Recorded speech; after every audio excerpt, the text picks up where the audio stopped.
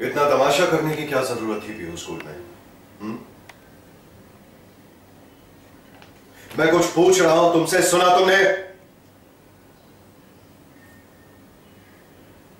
कितनी सफ़ाई से तुमने स्कूल में झूठ बोल दिया? कि सब कुछ ठीक था? सबने तुम्हारी माँ को बहुत पसंद किया। कौन है तुम्हारी माँ? हुँ? सुनी थी? बड़ी सफ़ाई से झूठ बोलना सीख गई हो क्या यही सब सिखाते हैं आजकल स्कूल में? अब रहने भी तो ना उसको अपनी गलती का एहसास हो गया है। अब वो ऐसा नहीं करेगी। हो सच में?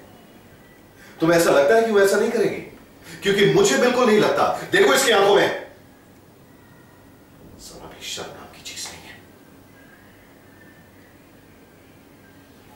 एक बात बताओ पीरू तुम्हें अपनी माँ को माँ बुलाने में शर्म महसूस होती।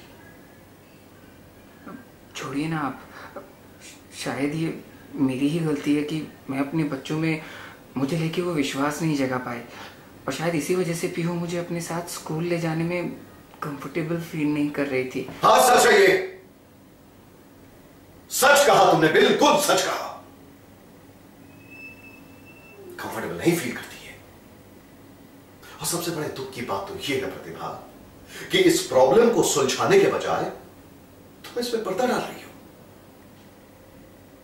कमाल है। डिनर टेबल पर बैठकर तुम दोनों इस झूठ पर पर्दा डाल रही हो और सारा कसूर अपने ऊपर ले रही हो। समझ में नहीं आता।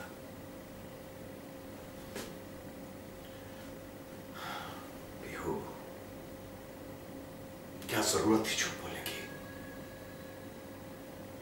तुम्हें शर्म आती है अपनी माँ को माँ कहने में? हुँ?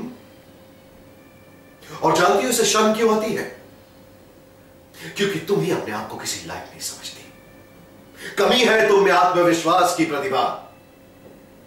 और अगर इतनी प्रॉब्लम है तो किस दिन के लिए वेट कर रही हो? उस दिन के लिए जब बाहर के लोग आकर मुझसे कहेंगे कि ये औरत आपकी बीवी कैसे हो सकती है?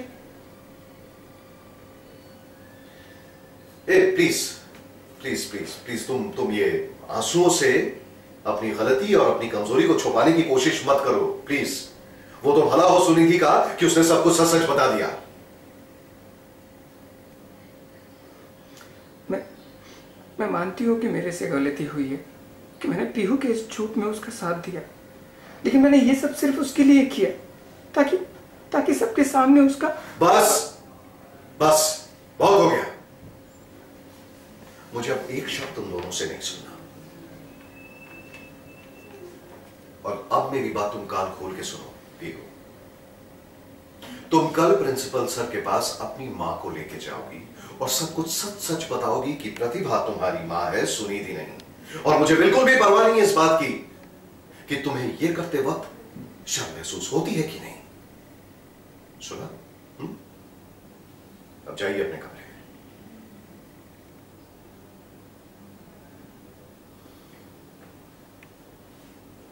तुम्हें जरा भी अंदाज़ा है प्रतिभा, कि तुमने बच्चों के सामने अपनी कैसी इमेज बना के रखी।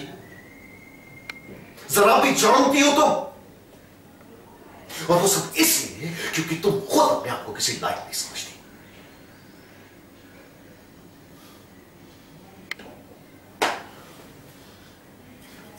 सच ये है प्रतिभा कि हम पीहू के माँ बाप हैं।